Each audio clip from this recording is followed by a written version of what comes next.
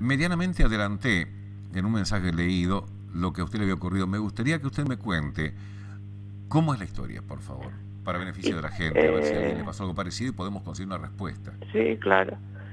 Tengo un plazo fijo pequeño en dólares en el Banco Nación. Estoy un poco afónica. Eh, y ahora quería retirar y dice que no tienen eh, los dólares porque eh, eh, la capital no le manda los dos dólares al Banco Nación. Estoy mal porque falleció mi mamá hace poco y bueno, no estoy bien.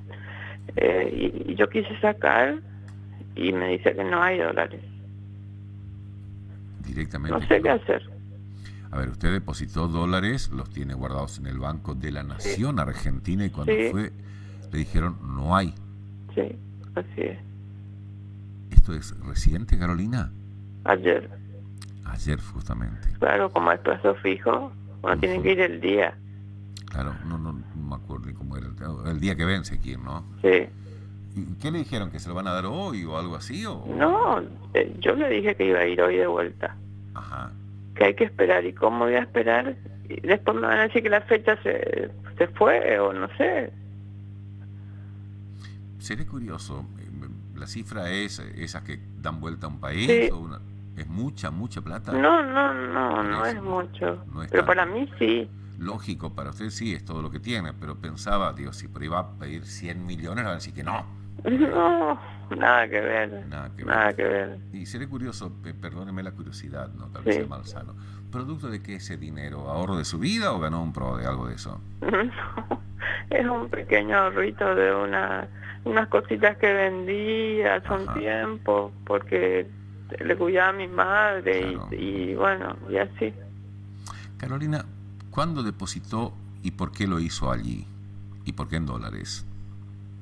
Y porque dije, bueno, por ahí tengo una pequeña ganancia porque como estoy sin trabajo y, y hace uno, un año más o menos usted creyó que cuando quería vencía y iba a poder retirarlos. Exacto.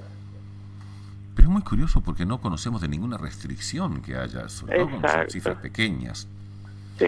O sea, ¿la respuesta que le dio el cajero fue? No, no, el cajero, la que te atiende, una de las personas que atiende ahí, me dice, imposible porque no tenemos dólares. Pero qué raro. Quiero que ustedes averigüen. ¿Sabe por qué es raro? Porque justamente ayer, Carolina, teníamos testimonios en las calles de Posadas, en las casas de cambio privadas, estaban comprando y vendiendo dólares con cierta normalidad a niveles de asombro, porque había fila de gente comprando dólares. en caso de cambio. Pero eh, quiero que vengan al Banco Nación. Qué raro. No, no, tengo por qué mentirle. No, no, le, le creo a usted por eso, le creo a usted y no a lo que llegan los comunicados, ¿no? Porque el Nación, por ejemplo, estaba vendiendo dólares. Debería estar vendiendo, al menos anuncian, ¿no? Ajá. Qué raro. ¿Usted va a ir hoy de nuevo entonces, me dijo? Ahora, ahora me voy ya.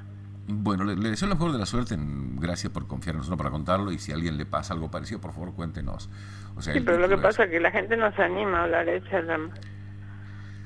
Pues lo concreto es, usted depositó hace un año dinero en dólares en el Banco Nación, vencí ayer, fue a buscarlos, quería renovar el depósito o retirarlos. Retirarlo.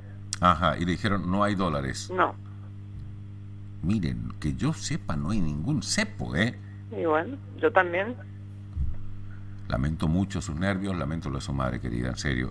Y le pido el favor de enviarnos un mensaje diciéndonos si pudo finalmente retirarlos. ¿Está? Bueno, muchas gracias. Un beso enorme, Carolina. Gracias.